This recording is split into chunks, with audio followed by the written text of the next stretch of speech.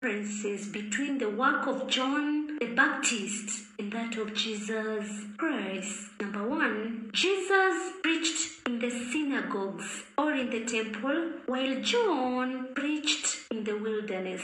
Number